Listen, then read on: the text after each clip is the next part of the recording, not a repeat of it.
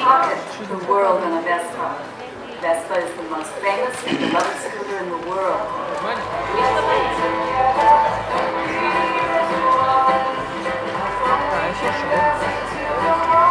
From Pontedera to India, from the UK to the US to Vietnam.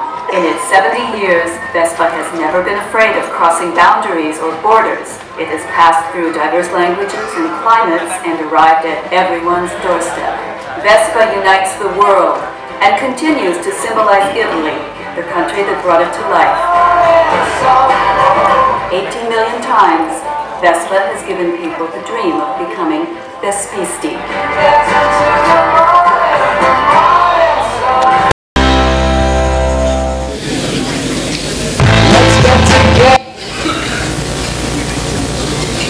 So our objective, why we have chosen this topic, because we want to, to study the successful re-entry of Vespa in Indian market. And as we are personally both personally use Vespa, so we want to share the history uh, related to Vespa.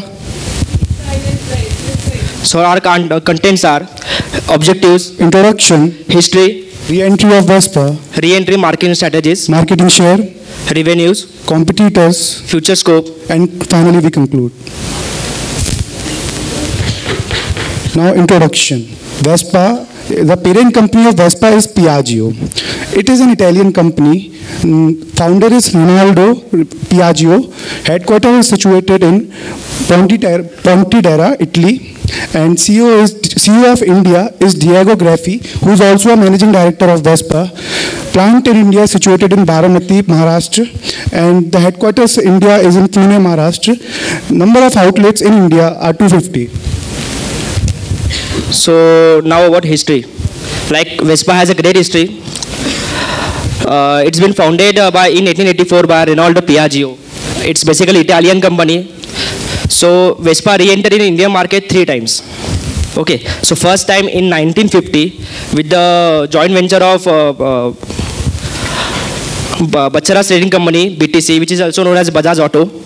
Then, uh, because of some political dispute like uh, uh, personalization, the uh, partnership uh, has been broke. Then, in secondly, then in 1983, the Vespa again re-entered in India market with LML. LML, you must have heard of, heard from your parents and grandparents, maybe. Then, in 1999, partnership again ended because of some internal dispute. Then, uh, in- But Vespa never wants to leave the Indian market. In 2012, he re-entered India. Vespa came back with model LX. Yes. LX 125cc um, with the price of 66,661. It is positioned as a premium pricing because at that time the price 66,661 for scoot, scooter is much more, 25 to 35 percent more than a normal pricing. So tagline was fashion unchanged because Vespa brought uh, heritage and vinta- vintage fashion back to Indian market and uh, invested 205 crores to set a Baramati plant. The aim of Baramati plant is to manufacture 1,50,000 units per year. So, re-entry of marketing, uh, re-entry of marketing strategies. Like Vespa is planning to re-enter in India, so they must have some marketing strategies. So these are, like uh, they they uh, they they run the digital campaigning with a uh, with a ugly one worldwide. In the same uh, digital campaigning, they made a they produce a contest called called as a Once Upon a Vespa. Like in Once Upon a Vespa, there is a there is a competition, and they were awareing the people about their vintage look and the classy look. Uh, in the Once Upon a Vespa, the prize money, the prize was the tour to Italy and the Vespa. They introduced a three-valve engine in first time in scooter market. The Vespa has the, is the only one scooter which has a three-valve engine. Like three-valve will will give you more power. Like uh, the people who have a Vespa might have feel the power, you know, power. So they aimed at, they aimed at a vintage look and Italian look. They focus on premium pricing only, as they don't want to lower down their uh, brand, and they targeted youth and retires. So the challenges faced by uh, faced during the re-entering. they were they were entering the dominated market, which were dominated by the Honda, Suzuki, and uh, other brands. So they, they have to face that challenge. Then they keep they uh, they are they are keeping the uh, uh, entry price as a high as a premium price. They spread the they spread the vintage look. So uh, spreading a vintage look in a uh, modern era is difficult for them. Now models of Vespa.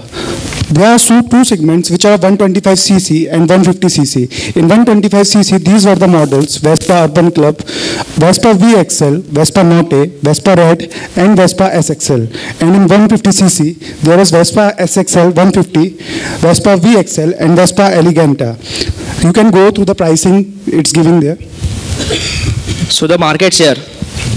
The market share of a scooters uh, scooters market in India 2019, the market size is 67 lakh 4,741 units.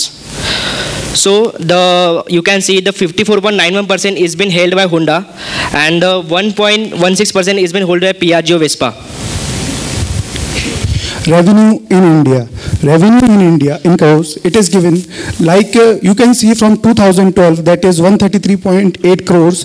It increased to 523.9 crores in 2018, which shows that the Vespa successfully re-enters the Indian market. The competitors. Every brand has a competitors. So Vespa has. So Vespa have uh, uh, mainly the these competitors Honda, TVS, Hero MotoCorp, Suzuki, and Yamaha. So these are the competitors for uh, uh, Piaggio Vespa. Future outlook, Vespa. Every company has a future outlook because to success they have to think for their future. And so Vespa has to expand their outlets from 150 250 to 350 to introduce Vespa Electrica, which will be the first electrical Vespa in Indian market. And they are planning to introduce 21 new models, which will be coming soon. So the conclusion. Vespa is trying hard to enter in the India market.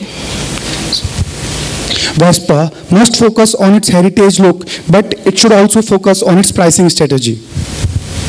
Uh, Vespa targeting the youth and retires only. There is still room for improvement as the market is dominated by the local brands. Thank you. Thank you.